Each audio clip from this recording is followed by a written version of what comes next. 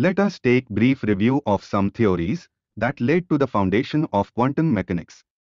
So first is black body radiation. A black body emits radiation when it is in thermal contact with surroundings. The radiations contain all the wavelengths ranging from 0 to infinite. From general thermodynamic arguments, Kirchhoff showed that the distribution of black body radiation is independent of nature of the black body. That is, materials of the wall of the black body. And depends only on its temperature T. Using the idea of pressure exerted by radiations on the walls of the black body, Stefan and Boltzmann showed that the total energy density was proportional to the fourth power of absolute temperature of the black body. That is, E is proportional to fourth power of T. Stefan's law of black body radiation is thus given by E is equal to sigma T power to 4, where sigma is Stefan's constant. Its value is 5.67 into 10 power to minus 8 watt per meter square, k power to 4. The law was experimentally verified and found satisfactory. However, this law does not tell anything about the energy distribution with respect to individual wavelengths. Wien in 1893 established displacement laws, which are lambda t is equal to constant.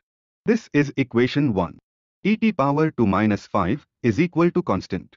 This is equation 2, where lambda is the wavelength corresponding to the temperature T and E is emissivity of the black body. Combining these two laws and using Maxwell distribution, Wien obtained following law. E lambda d lambda is equal to A divided by lambda power to minus 5 e power to minus b by lambda t d lambda. This is equation 3 where A and B are constants. It was observed that this law is valid only for the short wavelength region.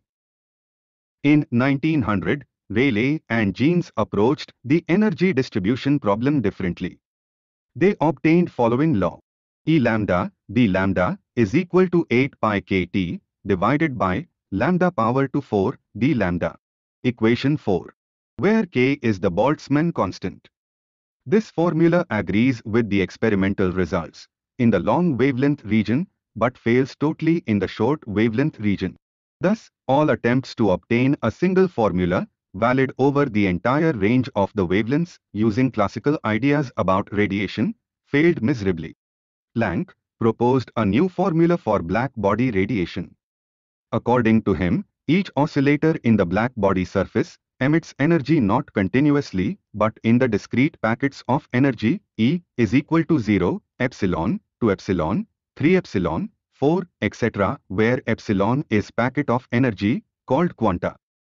And epsilon is equal to h nu, h is called Planck's constant, having value 6.625 into 10 power to minus 34 joule second.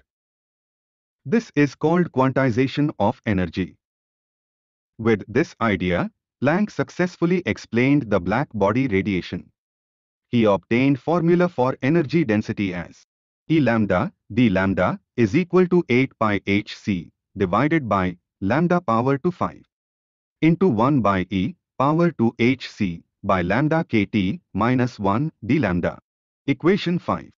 This is Planck's radiation formula. This is in exact agreement with the experimental results. It is observed that for small wavelengths, Planck's law reduces to Wien's formula and for longer wavelengths, it reduces to Rayleigh and Jeans' formula. It was observed by Lenard that when ultraviolet light was incident upon a metal surface, like aluminum, electrons are ejected from the surface. The ejection of electrons from the metal surface, when light is incident on it, is called photoelectric effect and the ejected electrons are called photoelectrons.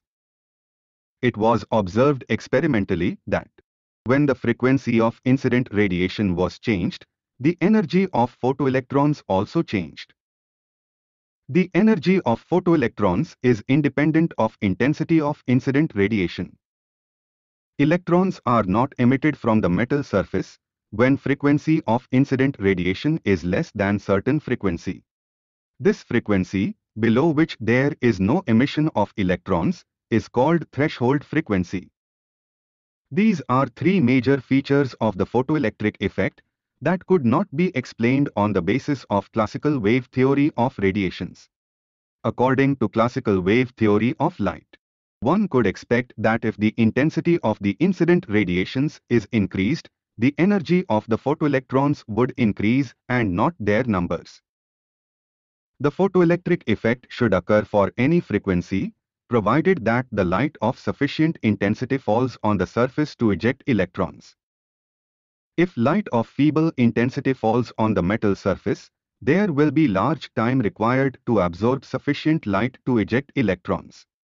That is, there should be time lag in the ejection of electrons. However, it is observed that the photoelectric effect is instantaneous and no time lag is observed. In order to provide satisfactory explanation for Lenard's experimental observations, Einstein proposed a new revolutionary theory in 1905. According to him, the light, electromagnetic radiation, that is incident upon a metal surface consists of bundles, called quanta, of energy, which later came to be called photons. He assumed that energy E, of each bundle or photon is related to its frequency nu by the relation E is equal to h nu, where h is Planck's constant. When such a photon is incident on the surface, all its energy is absorbed by the surface. Part of the energy is used to eject the electron, and remaining is given as kinetic energy to the electron. Kinetic energy of the ejected electron is given as Ke is equal to h nu minus W, where W is called the work function and it is the energy required to remove the electron from the metal surface. Theoretical prediction based on the Einstein's photon hypothesis satisfied all the experimental results. In 1921, Einstein received the Nobel Prize for predicting theoretically the law of photoelectric effect.